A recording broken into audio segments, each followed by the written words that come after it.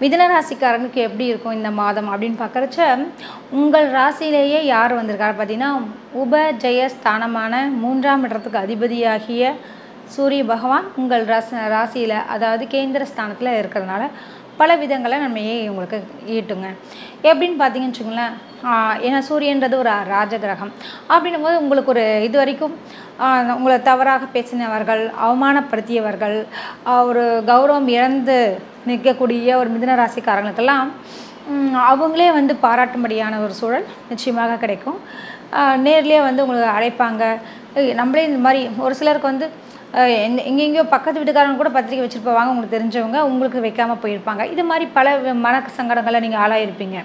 ஆனால் இந்த முறை பார்த்தீங்கன்னு சொன்னால் இந்த மாதம் மட்டும் உங்களுக்கு பல விதங்களில் நன்மைகள் தரும். எப்படின்னு பார்த்தீங்கன்னா